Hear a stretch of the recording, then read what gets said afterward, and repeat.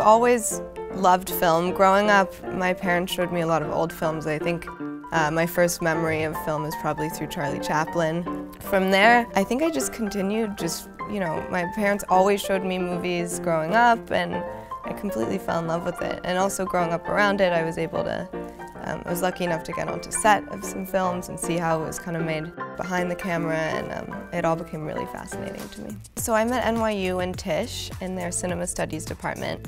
Um, and it's amazing. I mean, we learn film theory, film history, um, about specific directors, and I'm also doing business of entertainment minor. To me, definitely acting is, is my top priority, and I, it's what I want to do. Um, but I love, I love all aspects of filmmaking, and that's why I wanted to go to school for it and learn as much as I could. I have many favorite movies. I always go back to Almost Famous. I love Woody Allen. Those were kind of some movies that made me fall in love with filmmaking even more. In New York, I love coming to Metrograph. I like putting M&Ms in my popcorn. That's the move, yeah. So. this is my first time working with Chanel, yeah. It was surreal. Um, my first thought was like my 10-year-old self would be in heaven right now. Um, just some of the most beautiful clothes I've ever been lucky enough to wear.